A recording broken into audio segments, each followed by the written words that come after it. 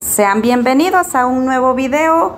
En este video te voy a compartir cómo hacer para que tu sábila o aloe vera te dé muchos hijitos como la que estás viendo aquí. Quitaré este tubo. Este tubo se lo había colocado porque como ven aquí está bastante grande la mata madre y se va hacia un lado. Aquí se había ido encima también de todos sus hijitos, algunos los ha quebrado.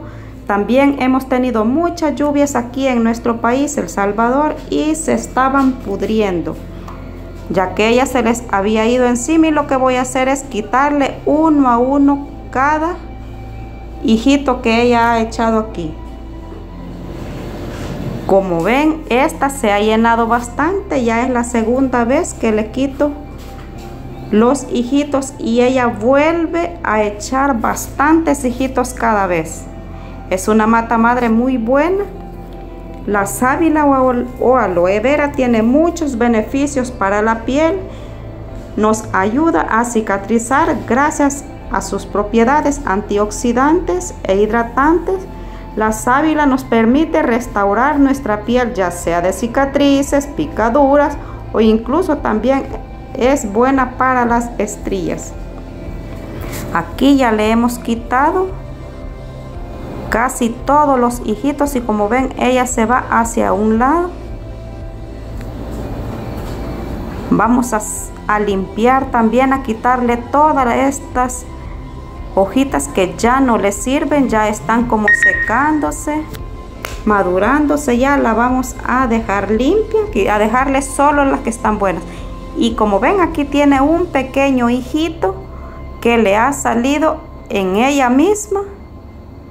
Cosa que es raro porque los hijitos los echan hacia un lado, pero esta les voy a compartir aquí también, como ven, aquí ha echado otros dos hijos más que también se los voy a retirar porque no es bueno dejárselos ahí. Voy a dejar la mata sola para que vuelva a producir más hijitos. Eso es lo que ustedes tienen que hacer para que su aloe vera o sábila les dé muchos hijitos. Para tener muchas reproducciones hay que quitarle los hijitos. Esta también nos, alivia el dolor. Sus propiedades analgésicas permiten que el aloe vera tenga beneficios respecto al control, dolor y malestar. Esta también nos ayuda a proteger la piel, nos ayuda a prevenir las arrugas. El aloe vera actúa como un antiarrugas natural porque hidrata, anestesia los tejidos de la piel. Además, sus minerales y vitaminas estimulan la producción de nuevas células e impulsan las bacterias. Aquí ya terminando de limpiar nuestra aloe vera, le quitaré este hijito que tiene aquí para dejarla totalmente sola y que ésta nos pueda producir más hijitos.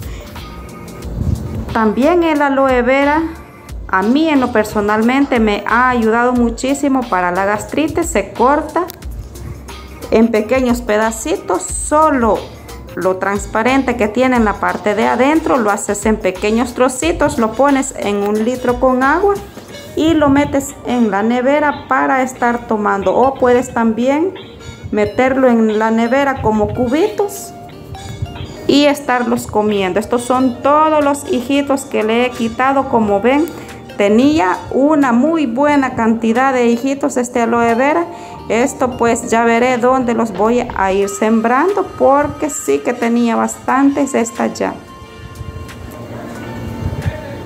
Pues aquí creo que voy a tener que arrancarla toda porque está muy mucho se está balanceando. La voy a enterrar un poco más profunda.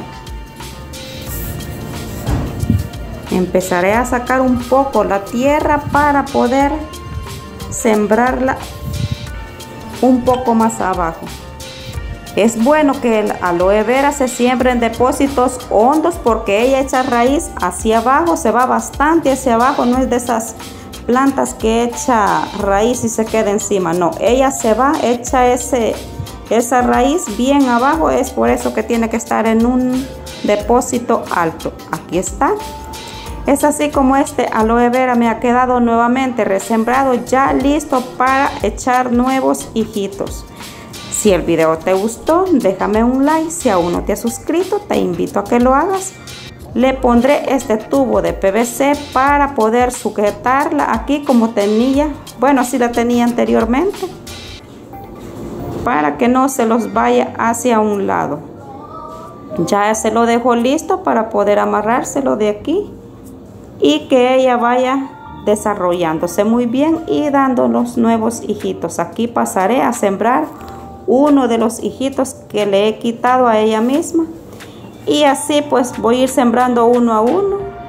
Ya veré dónde consigo más macetas porque la verdad que ahorita vacante solo esta macetita tenía.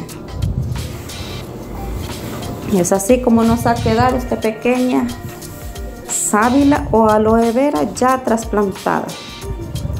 Gracias por haberte quedado hasta el final del video. Y si el video te gustó, déjame un like, comenta, comparta y nos vemos en un próximo video.